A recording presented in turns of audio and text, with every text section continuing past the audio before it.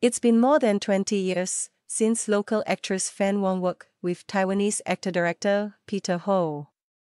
Most locals, especially millennials, would remember them as the leads of the 1999 Hong Kong art film The Truth About Jane and Sam.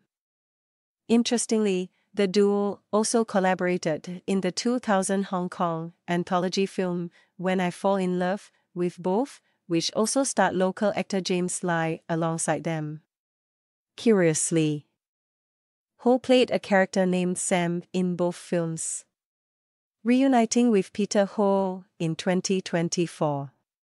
Fast forward to 2024, the duo is set to reunite for the Taiwanese production Breeze by the Sea, except Wong will be acting, while Ho will be directing.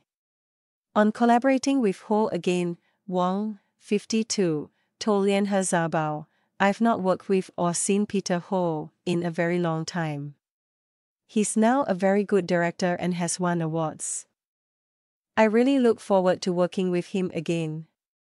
When asked about what drew her to this project, Wong revealed that the script was rather interesting and the filming duration wasn't very long either. Her portion will take about a month to film in Taipei. She had also not been to Taiwan to work for a while.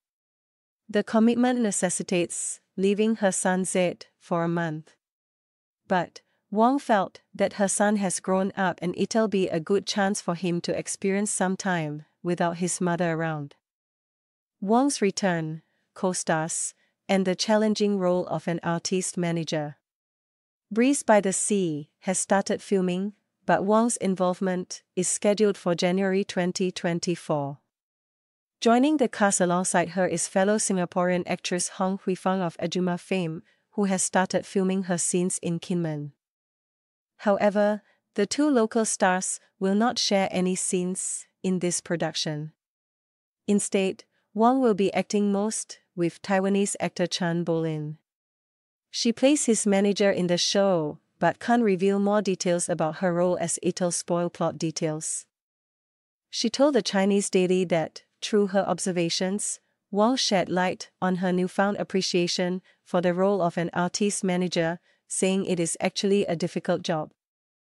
Wong explained, in addition to having a very good understanding of the industry, managers must also have a very high EQ in dealing with people, it has to be higher than the average person. Artists are different from ordinary people, they have all kinds of different emotions. Managers must understand their artists, know how to communicate with them, and have a very good rapport. I really feel that being an artist manager is very challenging.